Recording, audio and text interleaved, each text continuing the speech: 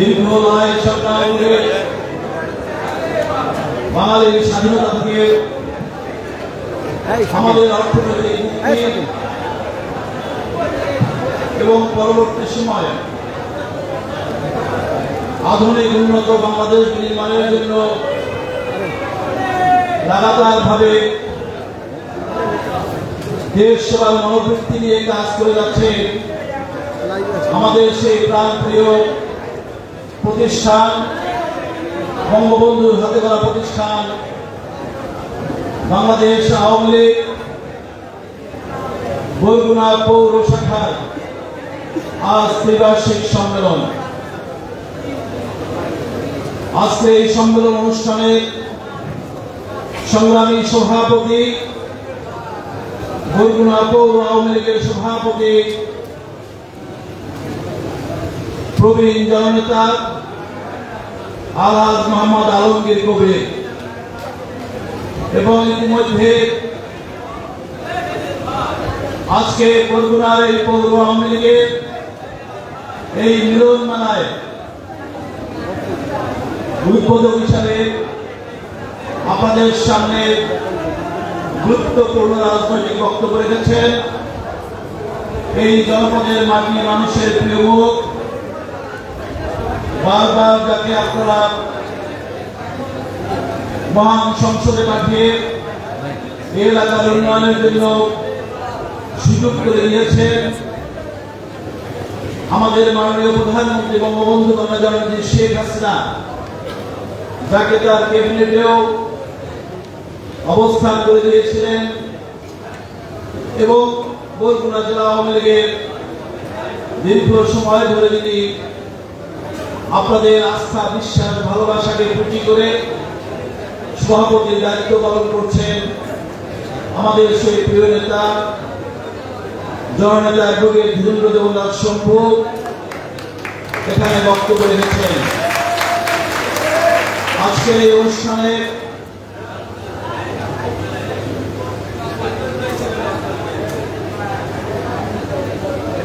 এখানে বক্তব্য রেখেছেন বরগুনা জেলা আওয়ামী লীগের সংগ্রামী সাধারণ সম্পাদক, পঁচাত্তর পূর্ব থেকে শুরু করে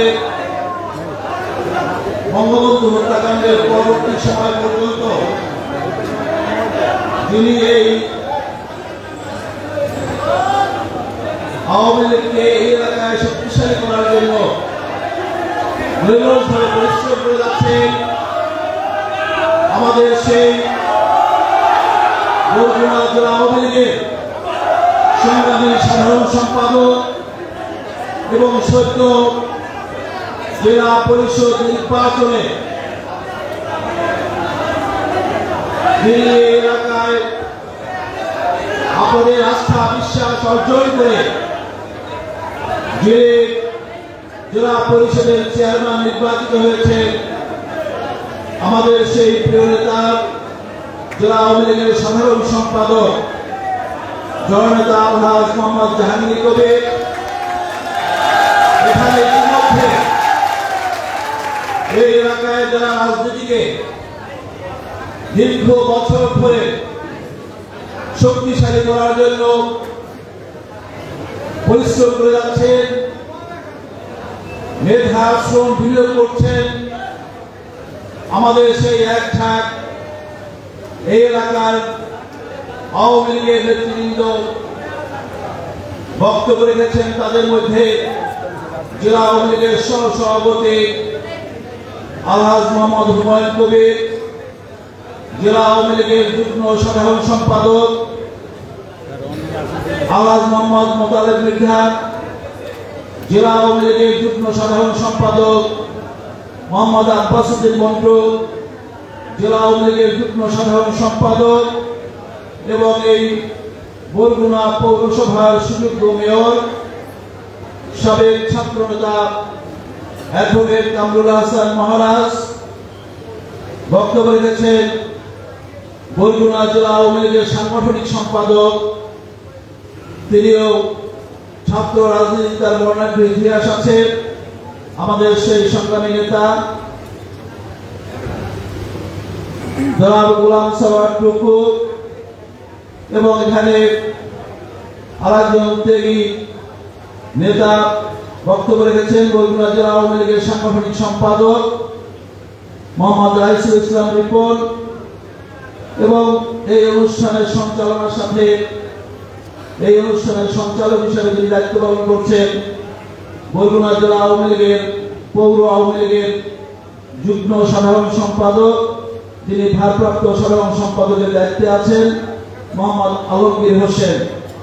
এছাড়াও এখানে বরগুনা জেলা আওয়ামী লীগ, আমাদের এখানে উপজেলা আওয়ামী লীগ, পৌর আওয়ামী লীগ থেকে শুরু করে অন্যান্য থানা থেকে যারা আওয়ামী লীগের নেতৃবৃন্দ, বিভিন্ন অঙ্গ সংগঠনের আমাদের বন্ধুরা এখানে আছেন, এছাড়াও এখানে জনপ্রতিনিধি বিভিন্ন এলাকার মেয়রবৃন্দ আছেন, আমাদের উপজেলা চেয়ারম্যান আছেন, ইউনিয়ন কাউন্সিলের চেয়ারম্যান আছেন, এবং আমার সাথেও আমাদের পটুয়াখালী থেকে আপনাদের পার্শ্ববর্তী উপজেলার সুযোগ্য উপজেলা চেয়ারম্যান জেলা আওয়ামী লীগের ক্লাব বিষয়ক সম্পাদক আমাদের পটুয়াখালী মোহাম্মদ আবু খান মোহাম্মদ আবু আমার সাথে ঢাকা থেকে এসেছে।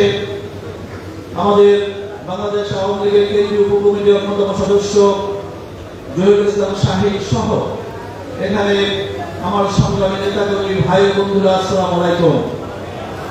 আজ পৌর আওয়ামী লীগের সম্মেলন।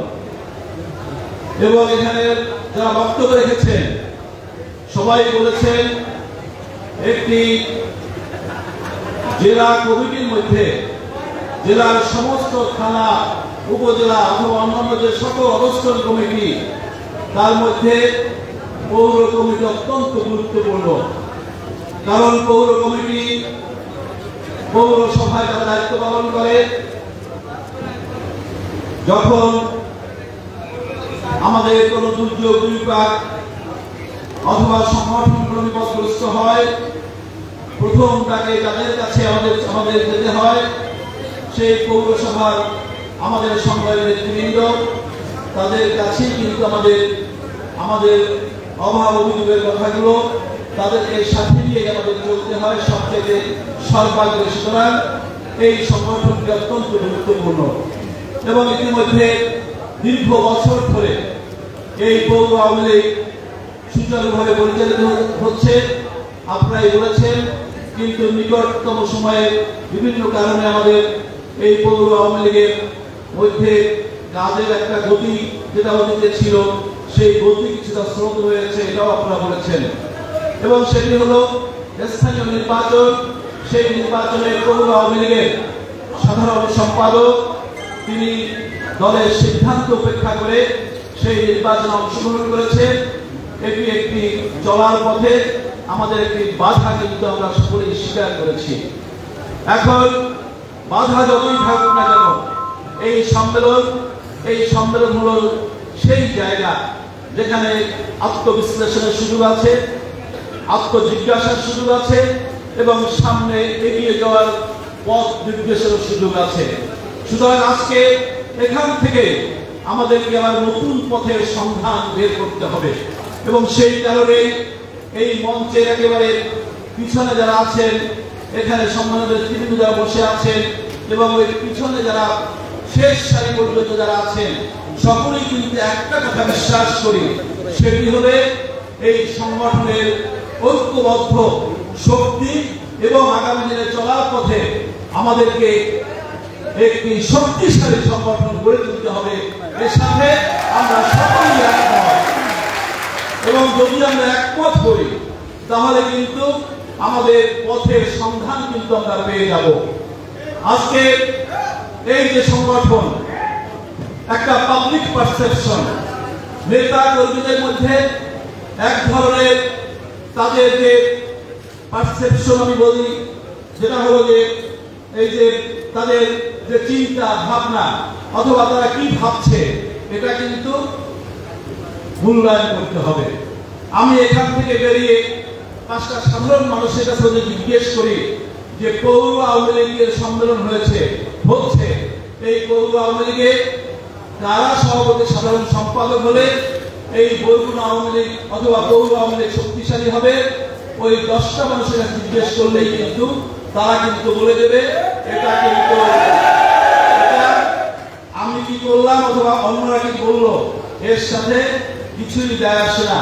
সুতরাং মানুষের ভাবনা নেতা কর্মীদের চিন্তা ভাবনা, তার সাথে আমাদের চিন্তা ভাবনা, এর সমন্বয়ের মাধ্যমে আমরা কিন্তু নতুন পথের সন্ধান পাবো, ওই শক্তিশালী সংগঠনটা করতে পারব, তাই না?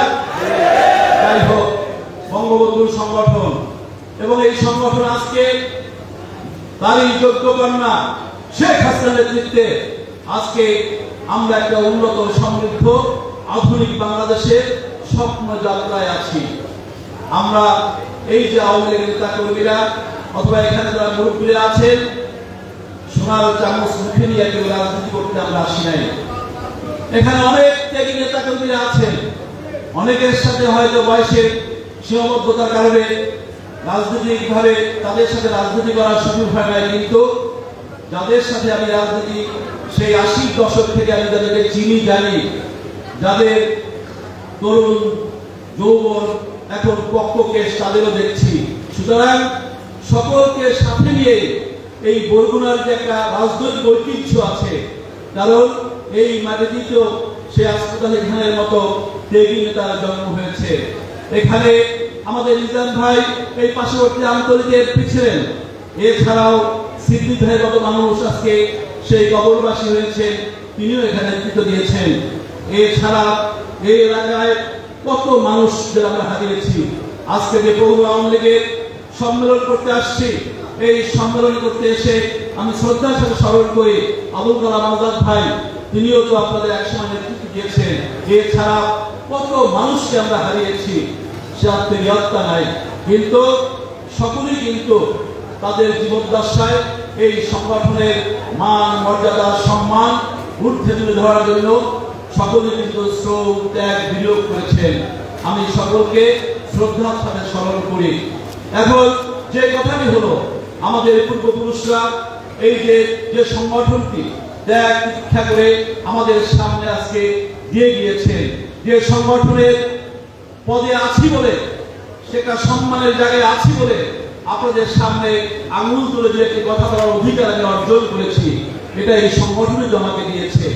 এই সংগঠনের নেতৃত্বে বঙ্গবন্ধু শেখ মুজিবুর রহমান, তার যে অসপ্তাত্ম জীবনী, কারাগারের রোজনাম অথবা সিনের ডায়েরি, অথবা তার সংগ্রামের ইতিহাস, এগুলো যদি আপনারা অনুধাবন করেন নিশ্চয়ই আপনারা জানবেন কীভাবে এক করে গ্রাম গঞ্জে সাইকেলে চলে এই সংগঠন তিলে তিলে তিনি তৈরি করেছেন।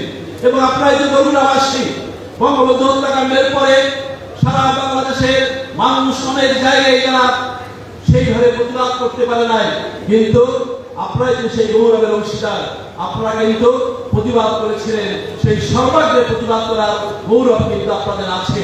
এবং সেই সংগঠন বাংলাদেশ আওয়ামী লীগ আজকে দীর্ঘ বছর ধরে আপনাদের নেতৃত্বে এখানে পরিচালিত হচ্ছে, অত্যন্ত অত্যন্ত সুষ্ঠুভাবে পরিচালিত হচ্ছে। কারণ বহুগুণার একটা রাজনৈতিক ঐতিহ্য, একটা রাজনৈতিক সংস্কৃতি, এটা কিন্তু আমরা সবসময়, আমরা যারা পার্শ্ববর্তী জেলা আছি, উপজেলা আছি, আমরা সবসময় আমাদের যখন নেতৃবৃন্দের সঙ্গে কথা বলি, আপনাদের উদাহরণটি আমরা তুলে ধরি যে বইগুলো কিন্তু একটা আওয়ামী লীগের শক্তিশালী ঘাঁটি এখানে নেতা, কর্মী, নেতৃবৃন্দ, তাদের একটা রাজনৈতিক মান, এটা কিন্তু অন্য এলাকার যে অনেক উচ্চ। যাই হোক, আজকে সেই উচ্চতাকে আপনাদের ধরে রাখতে হবে। এবং আজকে এই যে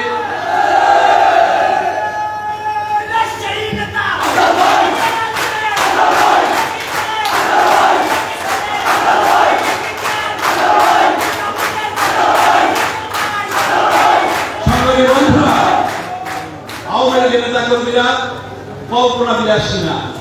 আওয়ামী লীগের নেতা কর্মীরা অ্যাডভান্সারিস না। ওই যে স্বাধীনতার পরে বঙ্গবন্ধু যখন তিলে তিলে স্টেপ বাই স্টেপ বাংলার ভাষা আন্দোলন, বাষট্টি শিক্ষা আন্দোলন, তারপরে ছেষট্টির সেই ছয় দফা আন্দোলন, উনসত্তরের গণ এবং সারা বাংলাদেশের মানুষকে ঘুরে ঘুরে তিনি বাঙালি জাতীয়তাবাদের চরম উন্মেষ ঘটিয়ে, সেই তোমার আমার ঠিকানা প্রত্যামের মেঘনা যমুনা তুমি কি আমাকে বাঙালি বাঙালি। এই যে মানুষের মনোজগতে যে বাঙালি জাতি এক এবং অভিন্ন, সেই জায়গায় যে বাঙালি জাতিকে নিয়ে যেতে পেরেছিলেন এবং সেই জায়গা থেকে বাঙালি জাতিকে এক বলতে পেরেছিলেন, এবারে সংগ্রাম সংগ্রাম, এবারে সংগ্রাম এবং সেই সংগ্রামের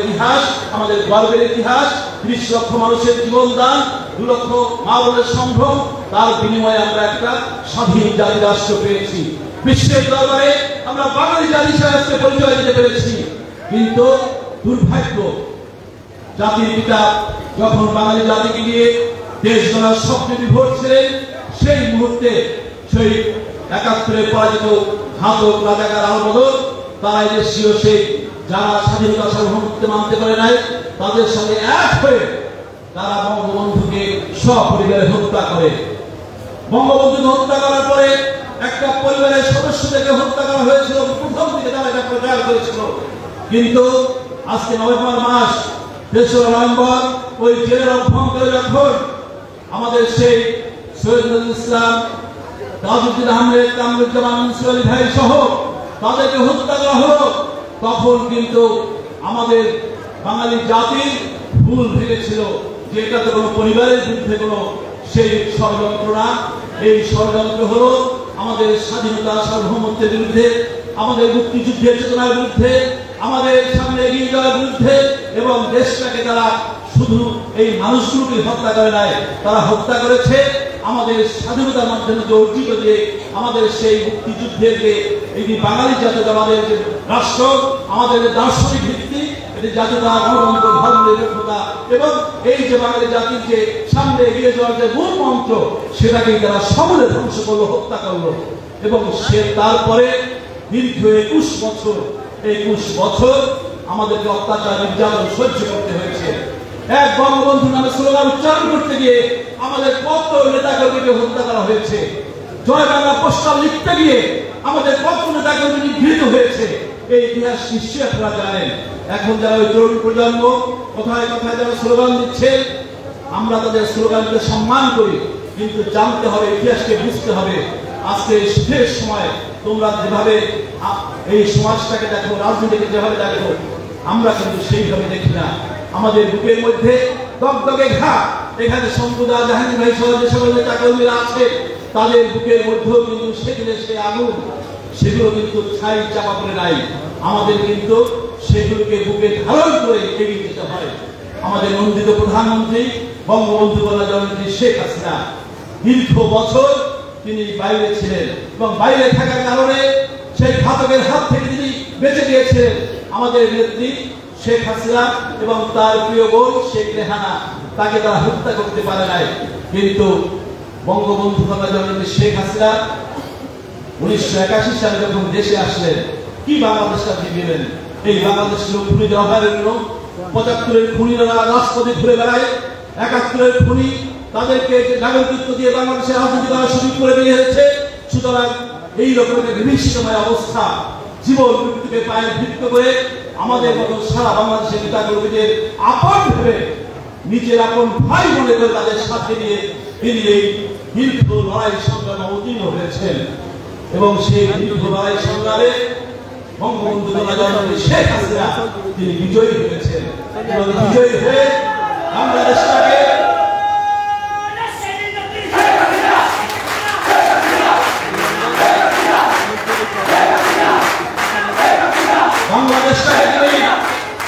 যখন একটা বাংলাদেশ ছিল, খাদ্য ঘাটলে বাংলাদেশ ছিল, বাংলাদেশের মানুষের জীবনযাত্রার আবিষ্কার হয়েছিল, এদেশে সম্পদ বিদেশে পাচার হয়েছিল, লুটপাটে রাজত্ব হয়েছিল।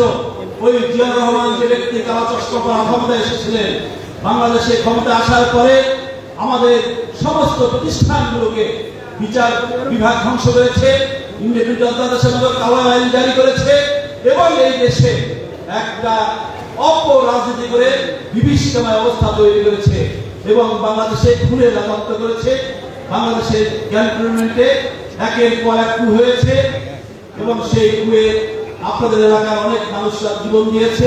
সারা বাংলাদেশের অনেক জোয়ান অফিসার শত শত অফিসারকে জীবন দিতে হয়েছে। মুক্তিযোদ্ধাদের হত্যা করা হয়েছে বিচারে এবং সেইভাবে বাংলাদেশটাকে তিনি পরিচালিত করেছিলেন নারকীয় অবস্থা হয়েছিল? তারপরে এক দুতে তিনি নিহত হলেন। দীর্ঘ বছর পরে মানুষের আস্থা, বিশ্বাস, ভালোবাসা নিয়ে আমাদের নেত্রী আবার দেশ পরিচালনার সুযোগ পেলেন। তিনি বাংলাদেশটাকে মায়ের মমতা নিয়ে, দেশবাসীকে সাথে নিয়ে তিনি এগিয়ে যাচ্ছিলেন। এবং তারপরে আবার আসলো খালেদা জিয়া। তিনিও বাংলাদেশে আসার পরে ওই যে একাত্তরের সেই রীতি খুন ধর্ষণ রাহাজানি যেটা বিএনপি রাজনীতি, সামরিক শাসনের গল্পে জন্ম নেওয়া বিএনপি জাতীয় পার্টি, ওই খালেদা জিয়া তাদের রাজনীতি, তারা সেইটিকে আবার পুনরায় চালু করল। তারা বাংলাদেশে এক সালে নির্বাচনের পরে, দুই হাজার এক সালে নির্বাচনের পরে আপনারা নিশ্চয়ই জানেন কি বাংলাদেশে একটা নারকীয় অবস্থা তৈরি করল। নৌকা বাগায় ভোট দেওয়ার অপরাধে এদেশের ছাব্বিশ হাজার নেতা কর্মীকে তারা হত্যা করল। আমাদের সেই আইবি রহমান সহ চব্বিশ জন নেতা কর্মীকে তারা একুশ আগস্ট হত্যা করল আইবি রহমানকে শুধু হত্যা করতে চেয়েছিল। তাদের মূল প্রাইম টার্গেট ছিল আমাদের প্রিয় নেত্রী, আবেগের কেন্দ্রবিন্দু। বঙ্গবন্ধু জনজননী শেখ হাসিনাকে তারা হত্যা করতে চেয়েছিল। তার আগে ইতিহাসটা নিশ্চয়ই জানেন আপনারা। কত হত্যা, খুন, সন্ত্রাসের পরে আজকে আবার এদেশের মানুষ বঙ্গবন্ধু কন্যা জয়ন্তী শেখ হাসিনা নেতৃত্বে গত চোদ্দ বছর ধরে এই দেশটাকে তিনি উন্নত, সমৃদ্ধ, আধুনিক বাংলাদেশের দিকে নিয়ে যাচ্ছে। সুতরাং এই বাংলাদেশটা তাদের সহ্য হচ্ছে না। তারা ক্ষমতায় থাকতে মানুষকে শান্তি দিতে পারে না তারা ক্ষমতায় থাকতে মানুষের উন্নয়ন দিতে পারে না তারা ক্ষমতায় থাকতে মানুষকে চলে দিতে পারে না সুতরাং তারা এই দেশে, তারা এই বাংলাদেশে, তারা এই বাংলাদেশের পাকিস্তানি ভাবধারার রাষ্ট্র গঠন করতে চায়। এবং সেই পাকিস্তানি ভাবধারা রাষ্ট্র গঠন করার জন্য তারা ইতিমধ্যে যে রিহার্সাল দেওয়ার দরকার, এটা কিন্তু বাংলাদেশে দিয়েছে এবং সেই কারণে গত কয়েকদিন আগে আমাদের প্রিয় নেত্রী বঙ্গবন্ধু দেশরত্ন শেখ হাসিনা, তিনি সেই যে যারা তেরো, চোদ্দ, পনেরো সেই সময়গুলিতে অগ্নি সন্ত্রাসে নিহত হয়েছে, কেউ তার পরিবার, পরিজন হারিয়েছে, কেউ কক্সবাজারে বেড়াতে যাচ্ছিল, আগুন দিয়ে সেই পাশটিকে ঝলসে দিয়েছিল মা নামতে পেরেছে, সন্তান আর পিতা নামতে পারে নাই।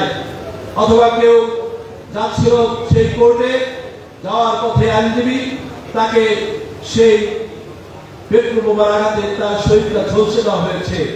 কত মানুষকে জীবন দেওয়া হয়েছে। এবং আপনারা জানেন, এখানে যে ডকুমেন্টারি দেখানো হয়েছে, এটা আমি ভেবেছিলাম যে আমাদের সেই বিভৎস দৃশ্যগুলো এখানে থাকবে। কারণ এগুলো দেখার দরকার আছে, মানুষকে বলার দরকার আছে। কারণ এই যে অবস্থা, একটা ড্রাইভার যাচ্ছিল কামার ভ্যান চালিয়ে। তার সন্তানকে কামার ভ্যানে রেখে সে একটা ছোট্ট রিক্সা ভাড়া করার জন্য একটু দূরে গিয়েছিল, তার সন্তানকে বাড়িতে পৌঁছে দেবে। এর মধ্যে পেট্রোল দিয়ে ওই কাবার ভ্যানটাকে আগুন দিয়ে পুড়িয়ে দেওয়া হলো। পিতা দেখছে, দাও দাও করে কাবার ধানটা পড়ছে পিতার তার সন্তান দগ্ধ হচ্ছে। এইভাবে আদম সন্তানকে কীভাবে হত্যা করে কীভাবে খুন করে, এটা বিএনপি করেছে। এবং আমরা যারা মুসলমান নিশ্চয় আপনারা জানেন যে ওই যে পাড়ায় দাও দাও করে তাদেরকে উস্কানি দিয়েছিল ওই বিএনপি খালেদা জিয়া। এবং তখন শত শত কোরআন শরীফকে তারা পুড়িয়ে দিয়েছিল। সুতরাং তারা ধর্ম মানে না তারা মানবতা মানে না, তারা উন্নয়ন মানে না, তারা অগ্রগতি মানে না, তারা বাংলাদেশটাকে আবার যদি সুযোগ পায় পোড়ামাটির বাংলাদেশ পরিণত করতে পারবে এবং চাইবে সেটা, কারণ তারা একাত্তরের সেই আমাদের যে বিজয়, সেই বিজয়ের প্রতিশোধ তারা অতীতে নিতে চেয়েছে, সেই প্রতিশোধ নেওয়ার তাদের শেষ হয় না তারা বাংলাদেশটাকে আবার ওই পর্যায়ে নিয়ে যাবে। সুতরাং আমাদেরকে কিন্তু সাবধান হতে হবে। আর সাবধান হতে হলে সবচাইতে বড় প্রয়োজন কিন্তু নিজেদেরকে সংঘবদ্ধ করা, নিজেদেরকে শক্তিশালী করা, নিজেদেরকে ঐক্যবদ্ধ করা। এবং ঐক্যবদ্ধ করার জন্য সবচেয়ে বড় প্রয়োজন আজকে আমাদের এই যে সম্মেলন, এই সম্মেলনের মাধ্যমে আমাদেরকে সামনে এগিয়ে যাওয়া, আমাদের শক্তি অর্জন করা এবং শক্তি অর্জন করার জন্য শক্তিশালী সংগঠনকে সাংগঠনিক ভিত্তির উপরে শক্তিশালীভাবে মজবুত করে দাঁড়ানো।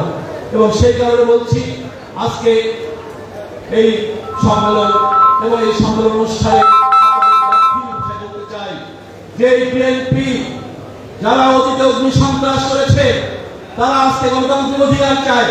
তারা কোন গণতন্ত্র বাংলাদেশে উপহার দিয়েছিল। তারা বাংলাদেশে এই যে ক্ষমতায় আসার পরে বছরে বঙ্গবন্ধু হত্যাকাণ্ডের পরে তেরাশি সাল পর্যন্ত বাংলাদেশে রাত বারোটার পর থেকে এই দেশে কারফিউ ছিল ঢাকা শহরে। তারা কারফিউ গণতন্ত্র দিয়েছে।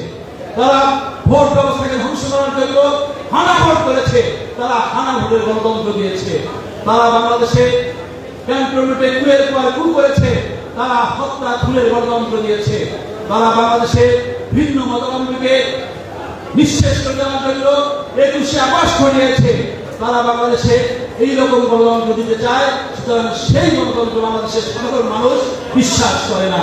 আজকে মায়ের মমতা নিয়ে বঙ্গবন্ধু মনোজনটি শেখ হাসিনা আজকে দেশটাকে গড়ে তুলছেন দেশটাকে। সুতরাং সেই অবস্থায় আমরা যারা নেতা কর্মীরা আছি আমাদের উপলব্ধি করতে হবে, আমাদের পারস্পরিক ভেদাভেদ ভুলে যেতে হবে। আজকে সামাজিক যোগাযোগ মাধ্যম আছে, আমাদের প্রচার প্রচারণার বিভিন্ন রকম কৌশল আছে। আমি ওই সুনাম দেবনাথ এখানে একটা ডকুমেন্টারি দেখিয়েছে। আমরা তাকে ধন্যবাদ জানাই। পাশাপাশি আমি মনে করি যে এই যে বরগুনা এলাকায় আমরা যারা তরুণ প্রজন্ম আছে, বিশেষ করে যারা বয়স্ক, তারা তো সামাজিক যোগাযোগ মাধ্যম ব্যবহার করার ব্যাপারে অত তারা এক্সপার্ট না অথবা তারা অভ্যস্ত না। কিন্তু যারা সামাজিক যোগাযোগ মাধ্যম ব্যবহার করেন ফেসবুক ব্যবহার করেন, অন্য মাধ্যম ব্যবহার করেন, ওই যে তরুণ প্রজন্ম কথা কথা স্লোগান দেয় আপনাদের কথাগুলো শুনতে হবে।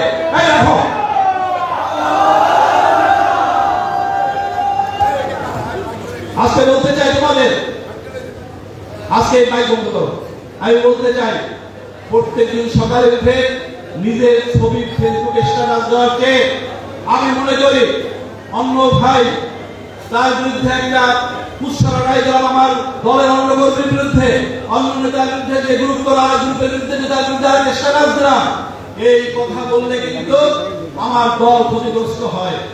আমি আমার নিজের বলের নিজের কোর্টের বল অন্যের হাতে কিন্তু ছুঁয়ে দেয় এবং তারা কিন্তু সেটিকে ব্যবহার করে। এখন থেকে আমি স্পষ্ট ভাষায় যারা লীগের ত্যাগী নেতা কর্মী, সবাই কিন্তু ত্যাগী নেতা কর্মী না। আমরা অনেক দিন ক্ষমতায় আছি পানের জলের মতো এই সংগঠনে অনেকেই চলে আসছে হালুয়ালুটির আশায়। আসেন, ভালো কথা, কাজ করে আমরা সবাই আপনাদের গ্রহণ করব। কিন্তু এখানে এসে অন্তর্কহ সৃষ্টি করবেন। এখানে এসে নিজেদের মধ্যে গ্রুপের সৃষ্টি করবেন এখানে এসে আমার আর ভাইয়ের মাথায় আঘাত করবে লাঠি দিয়ে। এটা হতে পারে না। আমি বিশ্বাস করি, আমি আমার অভিজ্ঞতা থেকে বলছি, আমরা দীর্ঘ বছর রাজনীতি করেছি। এই পটুয়াখালী, এই এই আমি আশির দশকে ওই যে ছাত্রলীগের সম্মেলন করতে এখানে এসেছি, তারপরে বিভিন্ন সভা সমাবেশ, বঙ্গবন্ধু বাংলাদেশ শেখ হাসিনা বিভিন্ন সভা সমাবেশ, সবগুলোতে আসার সুযোগ হয়েছে। এবং দলের মধ্যে প্রতিযোগিতা আগেও ছিল এখনও আছে। কিন্তু অনেক জায়গায় দেখি, মাথায় কিন্তু বাড়িটা দিয়ে দেন।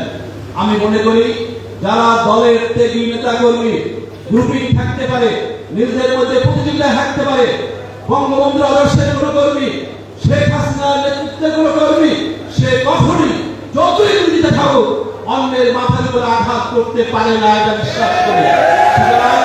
এই কাজটি যারা করে, তাদেরকে আমরা চিনি। সুতরাং এই কাজ যাতে কোনো এলাকায় কোনো কমিটির কোনো ক্রাইটেরিয়া যাতে যারা আছেন, তারা যাতে না করেন, এটা অবশ্যই খেয়াল রাখতে হবে। আর বিএনপি নেতা কর্মীরা যারা আজকে একটু অতি উৎসাহী, পুলকিত বোধ করছেন, পুলকিত বোধ করছেন তো একটা সমাবেশ করছেন। আওয়ামী লীগের নেতা কর্মীরা সারা বাংলাদেশে আমরা কিন্তু সম্মেলন অনুষ্ঠান নিয়ে ব্যস্ত আছি।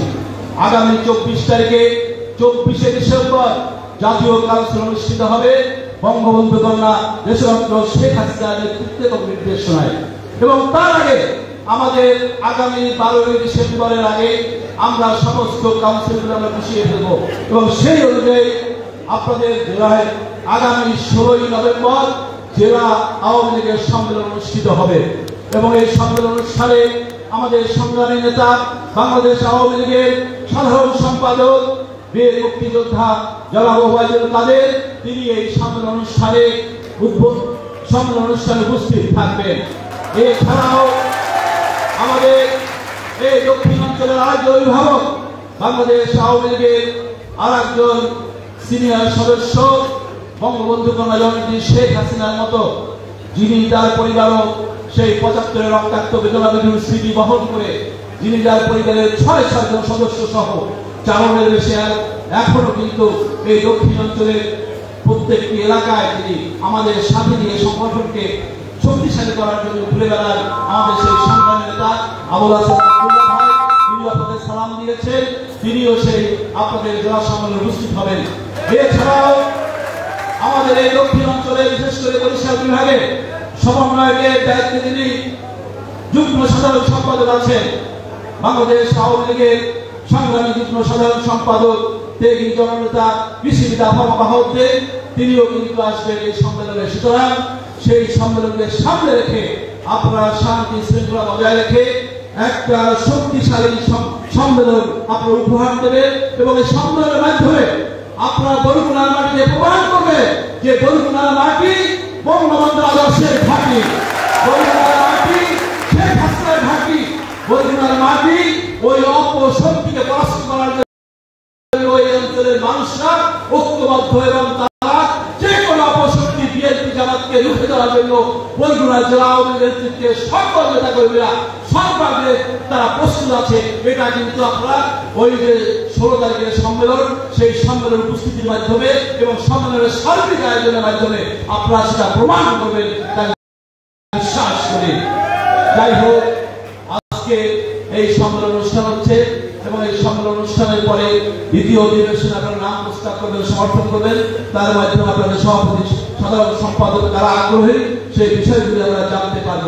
এবং তার মাধ্যমে আমাদের জেলা আওয়ামী লীগ আছে, আমরা এখানে যারা নেতৃবৃন্দ আছেন, তাদের সকলের সাথে আলাপ আলোচনা করে, যারা প্রার্থী তাদের সাথে আলাপ আলোচনা করে সর্বসম্মত করবে। আমরা একটা সুন্দর কমিটি উপহার দিতে চাই এবং সেটি আমি মনে করি এখানে যারা উপস্থিত আছেন, আপনারা একটা জিনিস তো সবাই বিশ্বাস করেন, আমাদের চেতনা বঙ্গবন্ধু কে? আমাদের নেত্রী? আমাদের মাতা আমাদের চেতনা বঙ্গবন্ধু? আমাদের নেত্রী শেখ হাসিনা? আমাদের মাতা নৌকা? এই তিনটা জায়গায় আমরা কে কোন জায়গা থেকে আসছি, কোন পরিবার থেকে আসছি, কে কোথায় আছি, কে দোতলায় আছি, কে নিচে আছি, কে মঞ্চে আছি, এটা কোনো বিষয় নয়। আমাদের একটাই পরিচয়, আমরা বঙ্গবন্ধু কন্যা শেখ হাসিনা কর্মী সেই কারণে শেখ হাসিনা যে নির্দেশ দেবেন, সেই নির্দেশ আমাদের অক্ষর অক্ষরে পালন করতে হবে। এবং সেই কারণে আগামী দিনে ওই অপশক্তি বিএনপি জামাত, বিশেষ করে আজকে যে মসজিদে দাঁড়িয়ে আমরা এই সংগ্রহ অনুষ্ঠান করছি, আমরা বীরের জাত। আমাদের নেতা বঙ্গবন্ধু, বঙ্গবন্ধুর নেতৃত্বে মুক্তিযোদ্ধারা যুদ্ধ করে, এই সময়টিতে পাকিস্তানিদের পরাস্ত করে, তাদেরকে নাস্তানুভূত করে বিজয়ের তার প্রান্তে আমরা এসেছিলাম।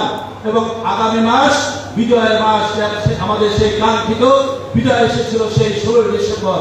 এবং সেই বিজয়ের মাসে আমরা আমাদের হাজার বছরের যে সংগ্রামের ইতিহাস সেই সংগ্রামের ইতিহাসে অনেকেই স্বাধীনতার স্বপ্ন দেখেছে, অনেকেই স্বাধীনতার কথা বলেছে, কেউ বিজয় অর্জন করতে পারে নাই। আমাদের সেই সংগ্রামী নেতা, আমাদের আদর্শের শিক্ষক, জাতির পিতা বঙ্গবন্ধু শেখ মুজিবুর রহমান, তার নেতৃত্বে আমরা, আমার সোনার বাংলা আমি তোমায় ভালোবাসি, এই জাতীয় সংগীত আমি উপহার পেয়েছিলাম। এবং এই জাতীয় সংগীত পেয়ে আমি বিশ্বের দরবারে আজকে মাথা উঁচু করে দাঁড়াতে পারছি। এবং আজকে যে তরুণ প্রজন্ম তোমরাও আজকে বীর বাঙালির জাতি হিসাবে বিশ্বের দরবারে পরিচিতি অর্জন করতে পেরেছ। আমরা বেইমানের যাত্রা রাজাকারের দৃষ্টিরা, আমরা এই ঘাতক রাজাকার আলবদর তাদেরকে ঘৃণা করি। এবং আমরা মুক্তিযোদ্ধার সন্তান, আমরা রাজাকারকে ঘৃণা করি, আমরা শেখ হাসিনার কর্মী, আমরা বঙ্গবন্ধুর অনুসারী। এর চেয়ে বড় গর্বের পরিচয় আমাদের আছে। সুতরাং ওই জায়গাটায় এক থাকতে হবে এবং সেই জায়গাটা চেতনায়, মননে, চিন্তায় বিশ্বাস করে ওই অপশক্তি আবার যারা রাজপথে আসার স্বপ্ন দেখে, আবার যারা সেই তেরো, চোদ্দ, পনেরো ষোলোর মতো অগ্নি সন্ত্রাস করার সেই দুঃস্বপ্ন দেখছে, তাদেরকে ডিসেম্বর মাস আমাদের মাস, মুক্তিযোদ্ধাদের মাস, মুক্তিযুদ্ধের পক্ষের মানুষদের মাস, এই মাসে ওই অপশক্তিকে আমরা আমাদের রাজনৈতিক কর্মসূচি, সামাজিক কর্মসূচি সাংস্কৃতিক কর্মসূচি আমাদের ইতিহাস, ঐতিহ্যকে সামনে নিয়ে আমরা সাধারণ মানুষের কাছে যাব। ওই অপশক্তি কি নিয়ে যাবে? তারা তাদের পেট্রোল বোমা রাজনীতি নিয়ে যাবে, তারা তাদের মাথাকারী রাজনীতি নিয়ে যাবে। তারা কখনোই কিন্তু এই মাসগুলোতে ডিসেম্বর, জানুয়ারি, ফেব্রুয়ারি, সেই সেই মাস মাস পর্যন্ত তারা এই গর্তে লুকিয়ে থাকে।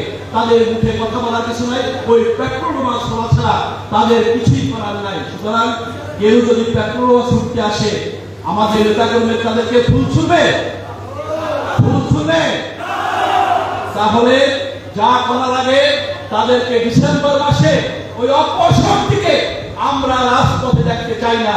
এই কথা তোমরা বিশ্বাস করে মানতে পারবা, করতে পারবা? ছাত্রলীগ সংগঠন যারা আছে তাদের ঐক্যবদ্ধ হবে যারা আছে তাদের নেতৃত্বে, তাদের নির্দেশে তোমাদের কাজ করতে হবে এবং সেই জায়গায় ঐক্যবদ্ধ যদি আমরা থাকতে পারি তাহলে আমরা বঙ্গবন্ধুর আদর্শে তৈরি হতে পারব। তার হাতকে স্লোগানে আমরা যতই বলি যে তার হাত শক্তিশালী করব, কিন্তু এই কাজগুলো যদি আমরা না করি, তার হাত শক্তিশালী হবে না। সুতরাং বঙ্গবন্ধু জনগণকে শেখ হাসিনার নেতৃত্বে তাকে আগামী দিনে আবার বাংলাদেশে দেশ চালানোর সুযোগ করে দিতে হবে। তাকে আগামী দিনে আবার প্রধানমন্ত্রী করতে হবে এবং তার জন্য আমাদের ঐক্যবদ্ধ থাকতে হবে।